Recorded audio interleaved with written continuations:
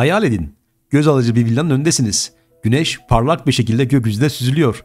Çimler ışıkla parlıyor ve her şey çok kusursuz görünüyor. Fakat bir dakika. Dikkatle bakıldığında modelde bazı şeyler eksik ve gerçekçilik tam anlamıyla yakalanamamış. Peki bir dış mekan renderında kaliteli ve gerçekçi render yakalamak için neler yapmamız gerekiyor? Bu videoda size onları göstereceğiz.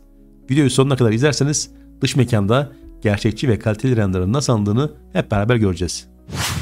Bu video dış mekanda gerçekçi ve kaliteli render alırken yapmış olduğunuz hataların tümünü içeriyor arkadaşlar. Ve bu hataları gösterirken D5 render kullanacağız. Hangi render motorunu kullanırsanız kullanın, ister yeni başlayanlar olsun, ister sürekli dış mekanda render alanlar olsun arkadaşlar. En çok yapılan hatadan bir tanesi dış mekanda ışığı ya patlatmak ya da sahnenin çok karanlık olması. Bunu yapmadan önce seçmiş olduğumuz ışık kaynağının seçiminin daha önceden seçilmiş olması. Bu ne demek? Eğer ben Geo and Sky kısmından güneşle aydınlatma yapacaksam güneşin yönünü bu şekilde ayarlayabilirim. Veya HDR kullanacaksam D5 için konuşuyorum. HDR kısmına geçmem gerekiyor. Enscape, TV Motion veya farklı render motorlarında da bunu yapabilirsiniz. HDR kısmına geçtiğinizde kullanmış olduğunuz HDR sahnede belirli bir etki yapar. Buradaki etkiyi buradaki HDR'ları değiştirerek görebilirsiniz. İster öğleden sonra, ister sabah güneşi, ister öğle güneşi gibi kısımlarla tonlamayı değiştirebilirsiniz arkadaşlar. Bunları yaptığınızda HDR'a isterseniz güneşi bağlayabilirsiniz. Bakın burada güneş kapalı durumda. Güneşi açtığımda burada ekstradan da güneş aktif olacaktır. Güneşin değerini bu render motorlarında mümkün olduğunca düşük tutmaya özen gösterin. 0.5 ile 1 arasında bir değer uygun olacaktır. Alttaki 5 değeri ise gölgenin keskinlik değeridir. Bunu ben genelde 10 yaparak daha soft bir görüntüye çekiyorum bunu. Alttaki custom kısmından direction kısmına geldiğinizde aslında güneşin derecesini sabah güneşi mi yoksa öğleden sonra mı yoksa akşam güneşi olacağını bu şekilde ayarlayabiliyorsunuz. Güneşin yönü burada ve açısında bu şekilde değiştirebiliyorsunuz. Bunlar bize çok önemli kullanım kaynakları sunuyor arkadaşlar. Çünkü güneşin hangi doğrultudan geleceğini seçmemiz bizim için önemli bir faktördür. Eğer HDR ışığıyla oynamak isterseniz light kısmındaki HDR Sky'ın altındaki light kısmını düşürebilirsiniz. Buradaki HDR kısmını netleştirmek isterseniz, arka planı görmek isterseniz netleştirebilirsiniz. Fakat buradaki dereceyi belli bir durumun altına, belli bir derecenin altına indirmeyin. Buradaki işarete bastığınızda Skylight çıkıyor. Skylight gökyüzünden gelen ışık miktarı anlamına geliyor. 0.3 ve background'u 0.3 bırakarak aynı etkiyi burada da yakalamış oldum. Sahneme yaklaşacak olursam bu şekilde bir etki benim için güneşli render için ideal bir etki olacaktır arkadaşlar. Dış mekanda gerçekçilik için en büyük gereklilik çevredeki detayları doğru yansıtabilmek gerektir arkadaşlar. Çoğu zaman yeni başlayanlar sahnede çim, ağaç veya diğer bitki detaylarını yeterince önemsemez. Çevrede görmüş olduğunuz çevresel etkiler gerçekçilik için büyük önem arz eder. Aynı zamanda bazı düzensizlikler vermek, tasarımda veya farklı şekillerde farklı etkiler vermek bizim gerçekçiliğimizi artırır. Gerek teras olsun, gerek alt teras olsun veya bahçede yapacağınız etkiler veya havuzda yapacağınız etkiler, havuzun üzerine yaprak birikintileri veya havuzda yüzen insanlar gibi etkiler veya burada oturup sohbet eden insanlar gibi etkiler bizim gerçekçi ve kaliteli render almamızı sağlar. Düz bir çim alanı yerine hafif düzensizlikler, farklı tonlar, farklı işlemler, farklı aksesuarlar gerçekçiliği daha da artacaktır arkadaşlar. O yüzden bu kısımlara özenle değinmenizde fayda var.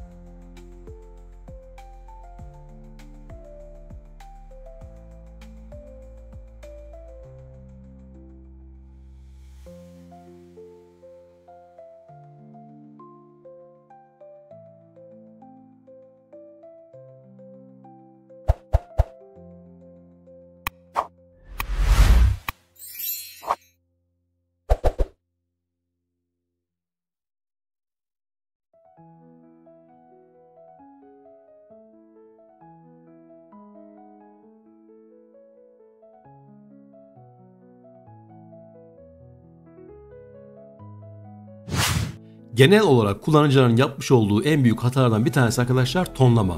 Sıcak tonlama veya soğuk tonlama. Normalde siz sabah render aldığınızda daha soğuk bir tonlama olur. Akşam render aldığınızda ise artık sıcak tonlar sahneye hakim olur. Bunu yapmak için D5'te sağ kısımdaki efekt menüsüne geliyorsunuz. Buradaki white balance kısmı var. White balance kısmı eğer siz sahnenizde buradaki ibreyi sola doğru çektiğinizde mavi tonlama, sağa doğru çektiğinizde daha sıcak, daha sarı tonlamaya gelir. Bunun tam kıvamını yakalamak için orta tonları kullanabilirsiniz arkadaşlar. Bakın buradaki renk geçişlerinde tamamıyla maviye değil, tamamıyla sarıya değil, tam maviye geçişte veya tam sarıya geçişte tuttuğunuzda aslında tam yeterli kıvamı yakalayacaksınız. Şimdi arkadaşlar herkesin gözden kaçırdığı ama üzerinde düşünülmesi gereken en önemli detaylardan bir tanesine bahsetmek istiyorum. Küçük detaylar. Çoğu zaman bir modelle göz ardı edilen bu detaylar aslında gerçekçiliği belirleyen en önemli unsurlardan bir tanesi. Ne gibi? Örnek vereyim arkadaşlar. Bakın dış mekanda çoğu arkadaşımız sadece kaplama atarak bu kısmı kullanmaya çalışır. Buradaki cephedeki bölümlemeyi poligon düzeyli yapmaz. Bakın buradaki cephedeki bölümleme poligon düzeyli olduğu için siz girintilerin çıkıntıları tam anlamıyla görüyorsunuz. Buradaki girintiler ve çıkıntılar sizin gerçekçilik algınızı değiştirir. Yani bakan kişinin gerçekçilik durumunu değiştirir arkadaşlar. Aynı zamanda havuzun etrafındaki çıkıntılar, köşe bentler, buradaki yükseltiler gibi önemli etkiler de bizim gerçekçiliğimizi değiştirir arkadaşlar. Detay 3 boyutta en önemli unsurlardan bir tanesidir. Bakın pencere kenarındaki dönüşler olsun, cam kenarındaki dönüşler olsun veya buradaki çocuklar için hazırlanmış bir futbol sahasındaki topların doğal yayılımı bile gerçekçiliği sunan önemli faktörlerden bir tanesi. Eğer dış mekanda bu kısımdan yoldan bir ende alacaksanız asfalttaki kirlilik, buradaki kaldırımdaki kirlilik gibi değişik önemli faktörler de bizim gerçekçilik algımızı değiştirecektir. Yani buradaki olay şu arkadaşlar. Siz gerçek hayatta ne görüyorsanız veya malzeme üzerinden hangi detayları görüyorsanız onları modele yansıtmanız gerekiyor. Bununla ilgili birçok örnek verebiliriz arkadaşlar. Birçok örnek vardır. Yani buradaki yaprak birikintileri, toz birikintileri, ağaçlardan dökülen yapraklar, buradaki kirlilik, e, buradaki deformasyon. Bakın buradaki deformasyon. Normalde siz herhangi bir binaya baktığınızda mutlaka bir kirlilikle, bir deformasyonla o gelişi güzel bakışı bozmanız gerekiyor. Her şey tertemiz, her şey dümdüz değildir arkadaşlar. O yüzden bu konuda çalışmanızda fayda var. Ne yaparsanız yapın, almış olduğunuz proje bittikten sonra onu hafiften, hafif bir kirlilikle, hafif bir düzensizlikle bozduğunuzda aslında gerçekçiliği bu şekilde sağlarsınız. Bunlar küçük detaylardır ama gerçekten çoğu kişinin atlamış olduğu en önemli detaylardan bir tanesi. Bugün dış mekan renderında gerçekçiliği yakalamanın ne kadar basit ama önemli adımlarla mümkün olabileceğini birlikte keşfettik arkadaşlar. Işık ayarlarından doğru renk tonlamasına kadar, dış mekanda sahnemizin detayına kadar neyin önemli olduğunu hep beraber gördük. Unutmayın, her yeni proje bir önceki deneyiminizden daha farklı olacaktır ve daha iyi olacaktır. Yaptığınız hatalar aslında gelişim yolculuğunuzun en büyük parçalarından bir tanesidir. Eğer bu video işinize yaradıysa arkadaşlar aşağıya yorum bırakmayı unutmayın. Kanalımıza abone olun. Diğer videolarda görüşmek üzere. Hoşçakalın. Sevgiler, saygılar.